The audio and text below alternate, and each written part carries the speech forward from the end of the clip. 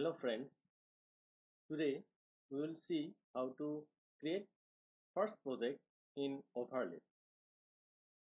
To create project in Overleaf, click on create first project.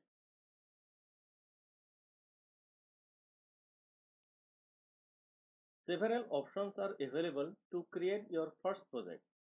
For now, we are going to create a blank project. So click on the blank project option available in the list.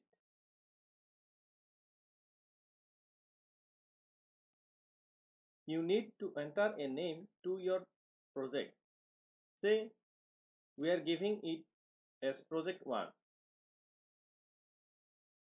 Then click on create.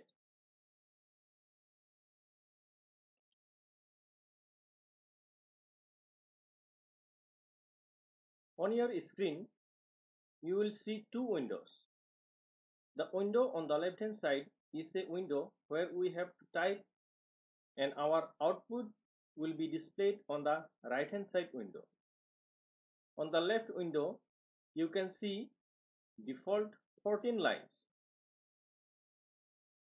For the time being, let me delete some lines except document class, begin document and end document. Now we have three lines. These three lines are the essential parts of the document.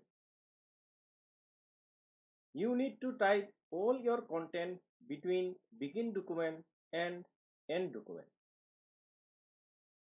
So let us type something in between begin document and end document. After typing your content, click on recompile button which is on the right hand side window.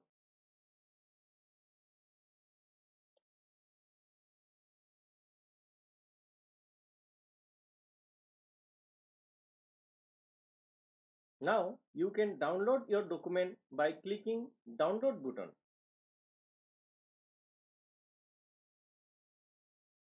Your downloaded file will be available in PDF format only. So this is the PDF format of the document. Thank you.